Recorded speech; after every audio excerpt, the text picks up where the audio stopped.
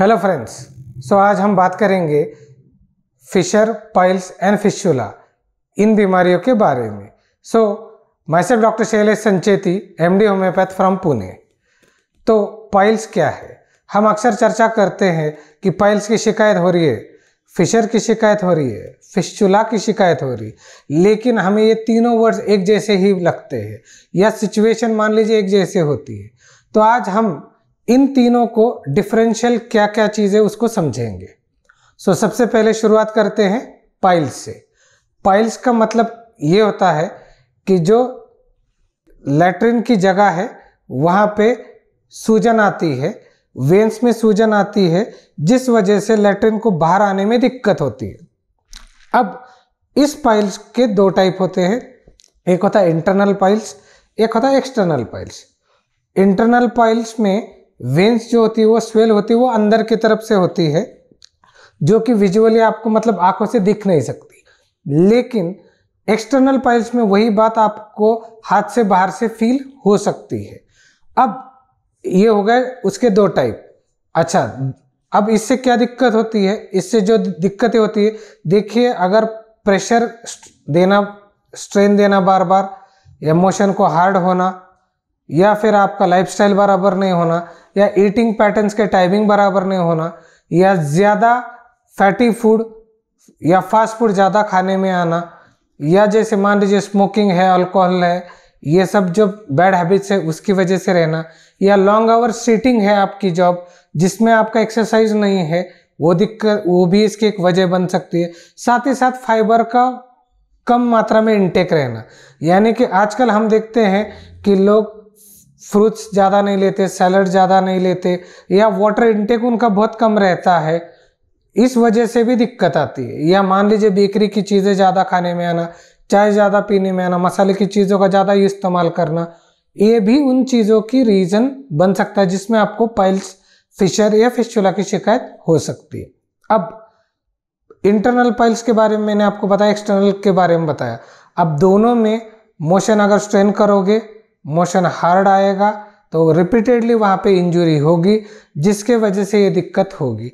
इन short जैसे varicose veins आपने देखे होंगे, पैरों पे थाइस पे होते हैं हरे हरे कलर के, उसी तरीके के वहाँ के जो एनल कैनल के जो वेंस है, वो स्वेल हो जाते हैं, और उसी का इन्फ्लेमेशन यानी कि सूजन की वजह से वो जो एरिया है, जिसमें से लेट्रिन बाहर आएगा, वो छोटा हो जाता है तो वहाँ पे आपको प्रेशर देना पड़ता है और उस प्रेशर की वजह से वहाँ पे इंजरी होती है। इंजरी होने की वजह से वहाँ पे स्वेलिंग पेन जैसे सुई चुभी जैसा लगना, या बहुत ज़्यादा लॉन्गर टाइम पे अगर दिक्कत चल रही है तो ब्लीडिंग होना, वहाँ पे सूजन आना, उठने बैठने को दर्द होना और लेटरिन को जाने के लिए भी डर सा महसूस होना कि वो जगह फट ना जाए। अच्छा इसमें अगर एक तीसरा कंडीशन आता है जिसमें थ्रोम्बस फॉर्म होता है, यानी कि रिपीटेड इंजुरी की वजह से वहाँ पे खून की गुठली जैसा काम हो, बन जाती है, उसको थ्रोम्बस फॉर्मेशन भी बोलते हैं।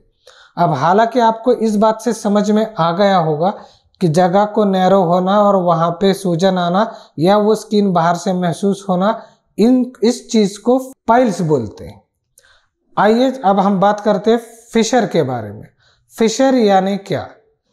एकदम सिंपल भाषा में फिशर, यानी कि जैसे ठंडी के दिनों में आपके होठ फटते हैं, यानी कि उसको क्रैक्स आते हैं, उसी तरीके से लेटरिन के जो एनल एरिया है, वहाँ पे क्रैक्स आते हैं, जिस वजह से सबसे ज़्यादा लेटरिन के बाद जलन होती है, और उसी को बर्निंग या प्रिकिंग पेन बोलते हैं, उसको फिशर बोलते हैं।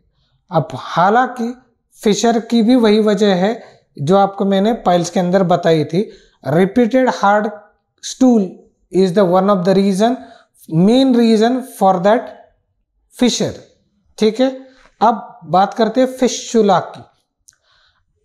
फिशुला ये है जिसमें लॉन्ग टर्म आपको बार बार उस एनल एरिया को इंजरी होती है।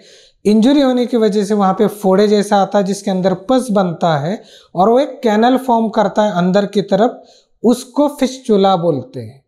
अब देखिए पाइल्स में स्वेलिंग आएगी टॉर्चरस वेन होगी फिशर में क्रैक्स आएँगे फिशुला में पस बन के कैनल फॉर्म होगा। अब ये तीनों का डिफरेंस है वेरी सिंपल फॉर्म लेकिन एक बात को समझना बहुत ज़रूरी है, इस कंडीशन में। देखिए, कोई भी बीमारी अगर इनिशियल फ़ेज़ में आप कंट्रोल करते हो तो वो कॉम्प्लेक्स होकर क्रॉनिक डिसीज क्रिएट नहीं करेगी। इन शॉर्ट अक्सर पेशेंट हमें बोलते हैं, डॉक्टर साहब, हमें किसी ने सर्जरी बोली फिशुला के लिए पाइल्स के लिए फिशर के लिए तो हमें क्या करना चाहिए? देखिए, अक्सर ये होता है कि पेशेंट सिचुएशन जैसे शुरुआत होती है, वो फिजिशियन को विज़िट नहीं करते, वो अपने लेवल पे कुछ ना कुछ एक्सपेरिमेंट करते हैं। लेकिन अगर वो इनिशियल से ही खुद की तरफ़ ध्यान दे, एक होम्योपैथिक ट्रीटमेंट एक एडवांस वे में अगर डील प्रॉपरली फॉलो करे तो उनके ये जो बाकी के आने वाले फ्यूचर के कॉम्प्लिकेशन है, उसको आप अवॉइड कर सकते। अच्छा आप ये पूछेंगे कि क्या फिशर में फिशुला में और पाइल्स में सर्जरी कंपलसरी है?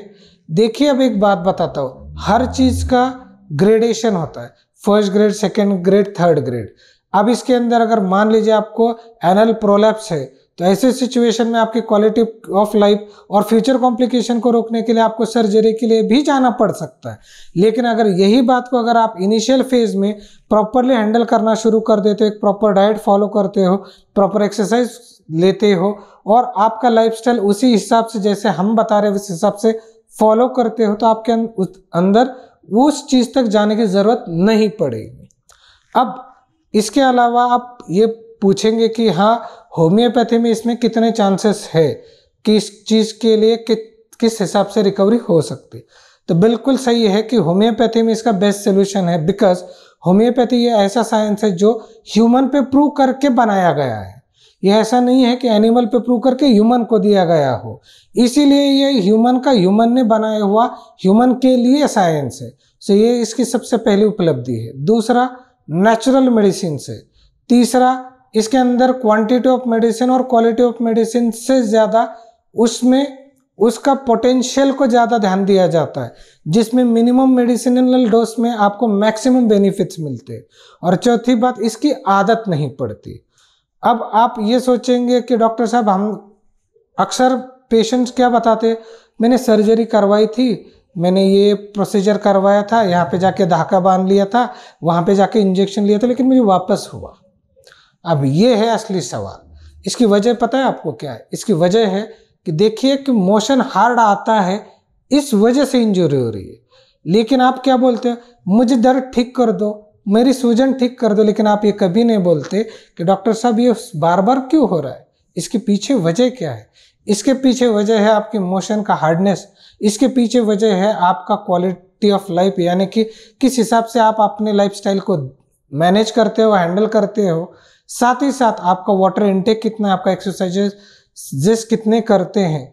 और साथ ही साथ आपके जो डॉक्टर्स है, जो जिनसे आप ट्रीटमेंट ले रहे हो, क्या वो सिर्फ़ आपकी इंजरी को हील करने की दवाई दे रहे हैं, या फिर वो जो रिपीटेड कंडीशन यानी कि टेंडेंसी फॉर्म हो गई है, जिस वजह से मोशन हार्डनेस आ रहा है, और उस हिसाब से आपको वहाँ पे इंजरी होकर दिक्कत हो रही अब सीधी सी बात मैं बताता हूँ, आपने गन्ना खा लिया तो आपको माउथ में क्रैक्स आते उस दिन आपको खाना खाने को दिक्कत होती है।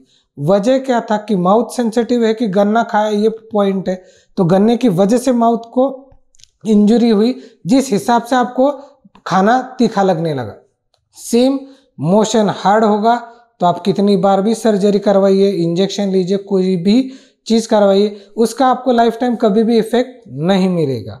और रिपीटेड सेम अटैक ये जाके rectal cancer rectal injuries rectal prolapse इन चीज़ों पे भी आपको कॉम्प्लिकेशन फेस करने पड़ते इसीलिए मैं हर बार पेशेंट को एडवाइस करता हूँ, सिर्फ़ ध्यान देना ज़रूरी नहीं, वक्त पे ध्यान देना ज़रूरी है।